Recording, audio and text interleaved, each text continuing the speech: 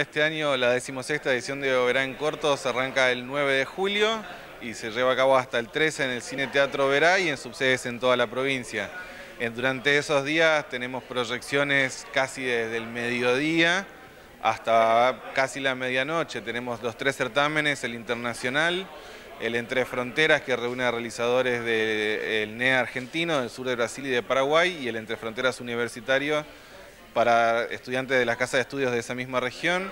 Después tenemos muestras de diferentes festivales, vienen muestras del Festival FAM de Florianópolis, del Metro de Curitiba, del FISIC, el Festival de Cosquín, del Fan Cinema, que es un, festival de cine cómico infantil, con una muestra muy interesante que coincide justo con las vacaciones de invierno, así que una propuesta muy interesante para chicos que se complementa con el estreno provincial de Cara Sucia, que también es una propuesta por ahí muy interesante.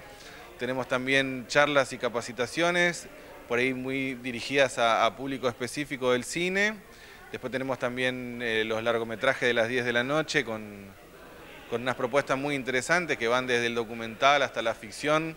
Por lo general lo que hacemos en, este espacio, que es el, cine entre las fronteras, es estrenar películas que por alguna razón estén relacionadas al quehacer del cine de la región.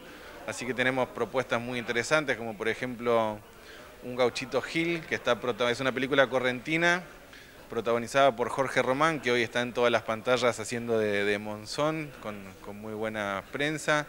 Tenemos también el estreno de Nieve, que es una película de dos directoras alemanas, producida por un misionero y con aportes de la provincia.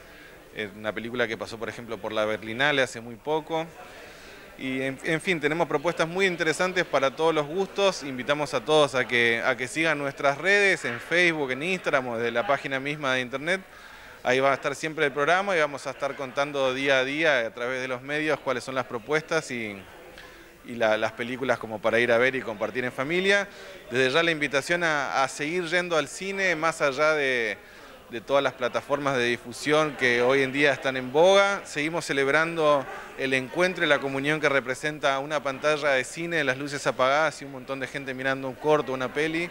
Eso es algo que nadie en ninguna plataforma va a poder dar nunca, así que bueno, invitamos a todo el mundo a, seguir yendo al cine, tanto no verán corto como en los espacios de, cine de, de, toda la provincia, las salas del Yavim y demás. Este año se inscribieron más de 800 cortos en los tres certámenes, de ahí fueron elegidos 10 para el certamen internacional, hay cortos de todo el país, de todo el mundo, perdón.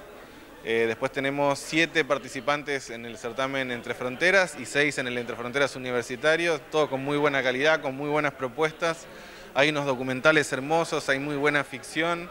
Nos pone muy contentos porque fue un proceso muy arduo de selección de muchas y muchas horas de, visionado para ver todo el material, pero, pero llegamos a una selección muy linda, muy entretenida y muy atractiva. ¿En cuanto a la entrada? No, las entradas son todas gratuitas, tanto para las proyecciones como para los espectáculos musicales, siempre en Oberán Cortos eh, las entradas son gratuitas.